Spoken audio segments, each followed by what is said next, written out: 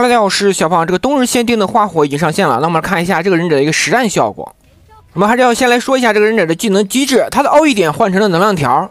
而他的二技能的话，主要是来切换四种形态，默认的话是一个黑桃。如果你想要释放二技能对应的形态的话，是必须要奥义键滑动到普攻。默认的黑桃是一个空掌效果，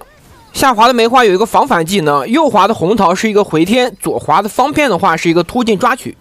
而它的一技能主要是可以用来快速移动，你如果再点击普攻的话，会追加一段攻击。这边拿到先手，我们快速切换到回天打一波伤害。看他替身，我们快速一技能拉开，引出他一个通灵以后，我们再快速切换到黑桃，因为这个黑桃的话是一个远距离起手的效果。一个技能没有命中，往下面走，再一个摸奖拿到先手。这个时候我们在左滑切换到方片，利用这个抓取看一下效果。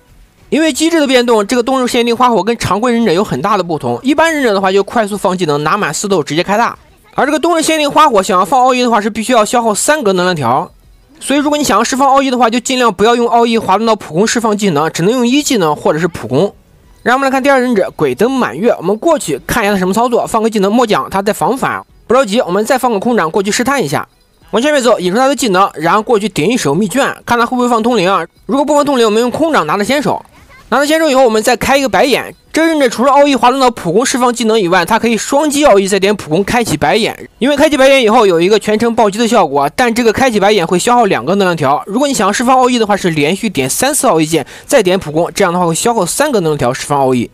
另外，在之前的爆料视频里面提到，这个忍者会有一个彩蛋，它的彩蛋就是你在站着不动十几秒以后啊，它就会开一枪，这枪的话伤害非常高。不过这个彩蛋在练习场里是触发不了的。快速把这个鬼灯满月带走，来看最后剩一个红叶柚。这他的手里带的是个霸体秘卷，所以说我们快速切换到方块，因为这个有一个抓取的效果，躲个技能，然后抓取。如果对方的霸体还没有消化完，我们可以再快速释放一个抓取。所以这个忍者可以在短时间内快速释放多个技能。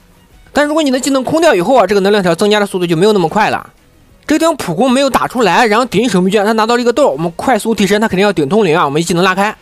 看他过来，我们也砸个熊猫。接下来就是为了释放奥义终结来。